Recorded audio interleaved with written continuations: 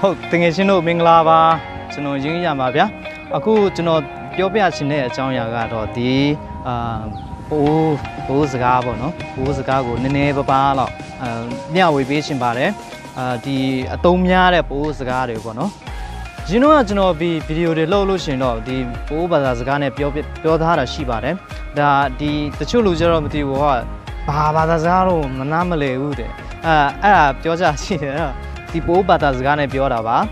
ဒီပိုးဘာသာစကားဆိုတာရှိပါတယ်ဗျစာလည်းရှိပါတယ်ဒီနောက်ပြီးတော့ဒီရိုးရာယဉ်ကျေးမှုတွေရောပေါ့နော်အာ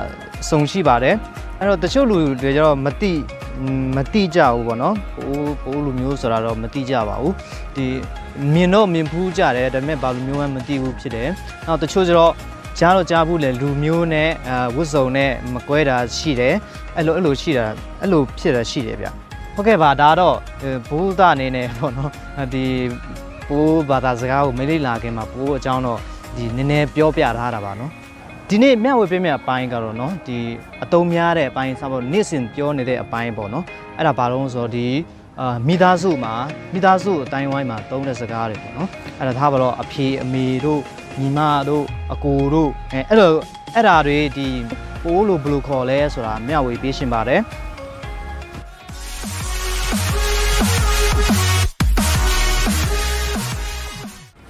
Okay ကျွန်တော်တို့ lesson စလိုက်ရအောင် Okay မိသားစုတွေထဲမှာအကြီးဆုံးကဘယ်သူတုံးအာအကြီးဆုံးကအဖွာဟင်းအဖွာအဖိုးအဖိုးအဖွာဟုတ်လားမသိဘူးအကြီးဆုံးကအကြီးဆုံးပေါ့နော်အဖွာကိုမွေဖရာလို့ခေါ်ပါတယ်အဖိုးကိုကျတော့ဘာလို့ဖာဖရာတဲ့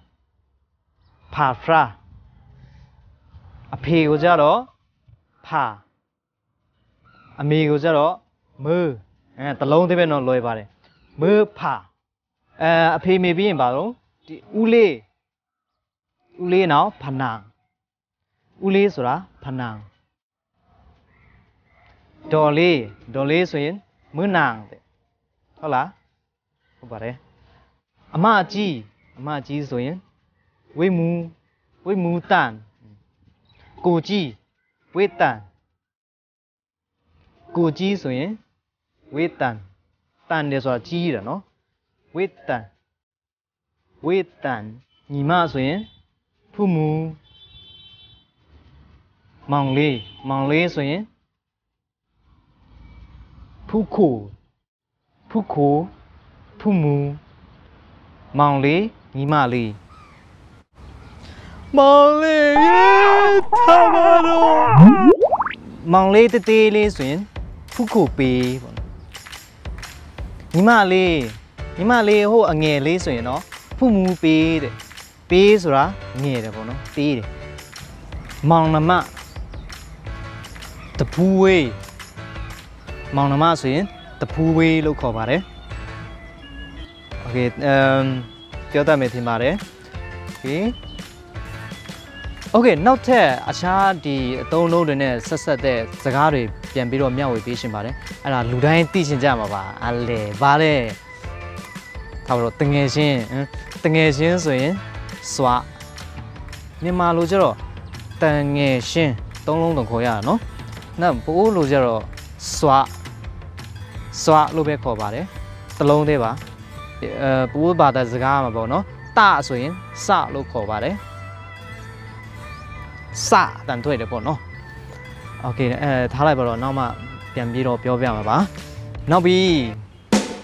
တငယ်ချင်းရီစားရှိသူပေါ့နော်ရီစားရီစားကောင်လေးဆိုနော်ဝမ်ခိုခိုဆိုတာယောက်ျားမလားရီစားကောင်လေးဆိုရင်ဝမ်ခိုအမရဲ့အမရဲ့ရီစားကဘာတူတော့ဝိမူဝိမူဝမ်ခိုတမိုင်နောက်ပြီးတော့ရီစားကောင်မလေးဆိုရင်ဝမ်မူတဲ့ဝမ်မူဝမ်ခိုဝမ်မူ မူးဆိုတာကောင်မလေးပါမင်းကလေးပါနော်ခွေဝောင်မူးတအောင်တောက်ငါမှရီးစားမရှိဘူးငါမှရီးစားကောင်မလေးမရှိပါဘူးကွာဟုတ်ကဲ့နောက်ချစ်သူရီးစားဖြစ်ပြီးပြီနောက်ဆက်ဆက်ပြီးလက်ထပ်ပြီးပြီဆိုရင်ပါတော့ဘာဖြစ်ပြီတော့မိန်းမယောက်ျားဖြစ်သွားပြီနော်မိန်းမဆိုရင်မာ ယောက်ျားဆိုရင်ဝါလင်မယားဆိုရင်တမာဝါလင်မယားတမာဝါဟုတ်ကဲ့ဒီနေ့တော့ဒီလောက်လေးပဲအဲမျှဝေပေးလိုက်ပါတယ်ဒီပိုးဘာသာစကားကိုနည်းနည်းလေးတော့တီးလောက်ပြီးထင်ပါတယ်အဲနောက်ဒီဒါကတော့ဒါဒီပိုးဘာသာစကားတော့ဒီအသုံးဝင်တဲ့အချိန်မှာအသုံးဝင်ပါလိမ့်မယ်ပေါ့နော်ဒီဒါပါတော့ပိုးဒေတာမှာရောက်လို့ရှရင်အဲ ဒီထုတ်ပြီးတော့ကြွားလို့ရပြီပေါ့နော်ဟုတ်ကဲ့ပါဒီဒီနေ့တော့ဒီဒီလောက်ပါပဲเนาะနောက်နေ့တွေမှာဒီအခြားအသုံးအနှုန်းတွေအသုံးဝင်တဲ့အသုံးအနှုန်းတွေကိုဒီဘုဟုတအနေနဲ့ပြန်လည်မျှဝေပေးအောင်ပါပါဟုတ်ကဲ့အခုလိုကြည့်ကြည့်ပေးကြတဲ့အတွက်တငယ်ချင်းတို့အားလုံးကိုအမ်ကျေးဇူးတင်ပါတယ်လို့ဘိုင်